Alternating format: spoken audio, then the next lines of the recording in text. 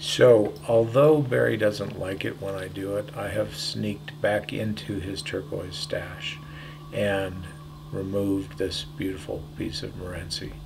And having absconded with his turquoise, I then gave it to Allison Lee to make this fabulous bolo tie.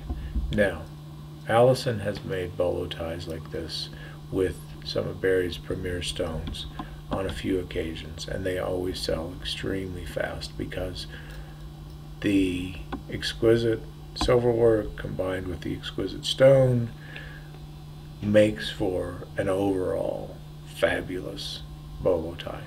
And for those of us who have worn bolo ties and who enjoy bolo ties, it's really a special piece. Allison always does really great bolo tips, all handmade, and the artwork around the stone is just simply beautiful. It doesn't detract from the stone, it really brings it out, flushes the color.